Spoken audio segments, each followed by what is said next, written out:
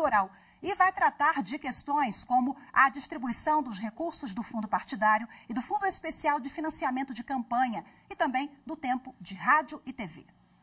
Entidades especialistas no assunto podem se inscrever até 23 horas e 59 minutos de sexta-feira, por meio de formulário disponível no site do TSE. A audiência pública será realizada na próxima segunda-feira, dia 2 de outubro, na sede do tribunal. Agora vamos voltar ao vivo ao edifício sede do Supremo Tribunal Federal e conversar com a repórter Evne Araújo, que está lá e agora traz as últimas informações para a gente sobre a posse, logo mais, do ministro Luiz Roberto Barroso como presidente da Corte. Oi, Evne, boa tarde mais uma vez para você. Agora explica para a gente como é que vai ser o rito da sessão solene de posse, Evne. Rafaela, a abertura da sessão será feita pela atual presidente ministra Rosa Weber. Em seguida, seguindo o rito, ah, será assinado o termo de posse e a leitura de um termo de compromisso. Depois da assinatura desse documento, Luiz Roberto Barroso e Rosa Weber trocam de lugar no plenário e Barroso também dará posse ao vice-presidente, ministro Edson Fachin. Bom, a cerimônia conta ainda com as manifestações da Procuradoria-Geral da República e do Conselho Federal da Ordem dos Advogados do Brasil. A posse do ministro Luiz Roberto Barroso como presidente do Supremo Tribunal Federal ocorre por volta das 4 horas da tarde e terá a transmissão da rádio e TV Justiça. Rafaela. Maravilha, Evelyn. Muito obrigada mais uma vez pela sua participação, pelas informações conosco aqui no Jornal da Justiça, primeira edição.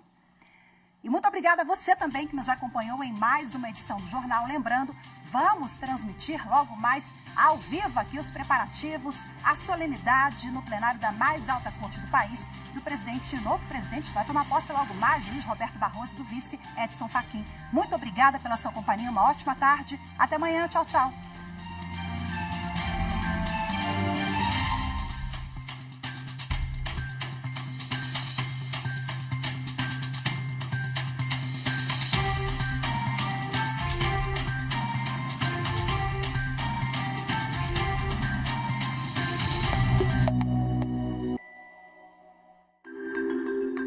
Uma pessoa comum guarda em média 13 segredos, dos quais 5 nunca foram compartilhados com ninguém. O que é um segredo?